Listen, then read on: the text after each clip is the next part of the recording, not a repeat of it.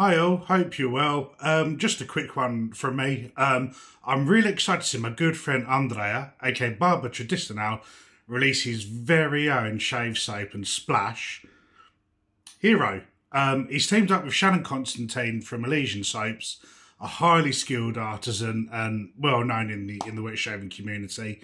Um, yeah, love the concept of this one, the, the, the stripes and the crown and, and the label, um, which is inspired by a tie actually that um, his granddad owned.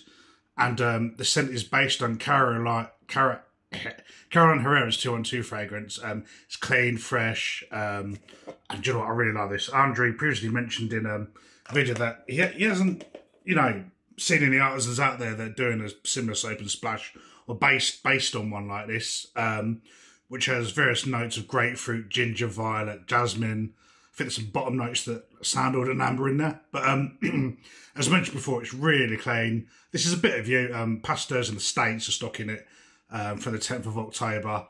I've used it a few times and already love it.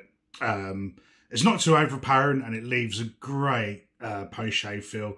So well done, Andrea and Shannon. Great work, guys. Check it out.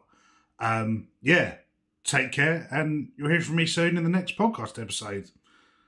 Happy shaving.